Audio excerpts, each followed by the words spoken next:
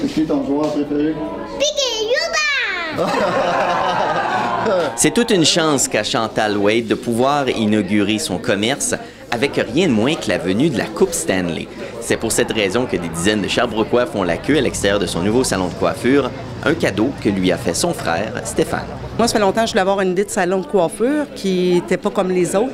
Puis euh, quand Stéphane m'est arrivé avec ça, j'ai trouvé que c'était une bonne idée. Euh, il n'y en a pas ici à Sherbrooke, exclusif aux hommes, avec des écrans de télé, euh, côté sport. là. Les hommes vont venir se faire couper les cheveux, puis c'est- ils vont écouter leur sport en même temps. Je suis très gâtée, hein? Quand Stéphane m'a offert ça, de faire mon ouverture avec la Coupe Stanley, je ne pouvais pas refuser. C'est une chance inouïe. C'est justement son frère qui a eu l'idée de ce salon de coiffure à thématique sportive.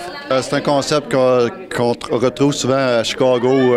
C'était à ma place à Chicago. On appelait ça le Sport Clips. Puis euh, c'est ce que j'allais tout le temps. Donc euh, on écoutait du, du hockey à la télévision. Puis euh, on, se faisait couper les cheveux. Donc c'est- une belle ambiance. C'est bien le fun.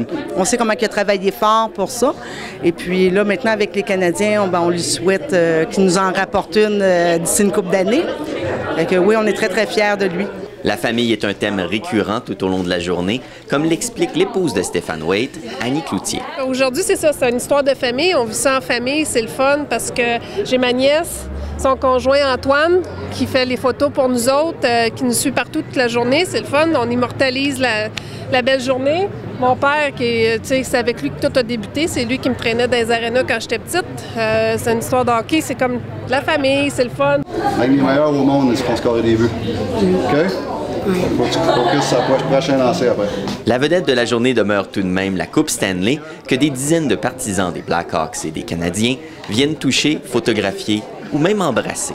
Moi, je te dirais que ça suscite un, un- un trop plein d'émotions. Euh, c'est quelque chose, un rêve d'enfance, dans le fond, que de toucher à la Coupe Stanley. Avec Stéphane, c'est ça. À cette heure qui est rendu un gars, des, un gars de Montréal qui va pouvoir coacher, coacher Price, euh, normalement il va pouvoir ramener ça à Montréal. C'est, ça va être le fun de pouvoir y retoucher mes cagons avec Montréal. La portion publique de la journée tire à sa fin. Stéphane Waite se dirige maintenant vers le restaurant pour une réception privée avec seulement la famille, les amis et la Coupe Stanley, évidemment.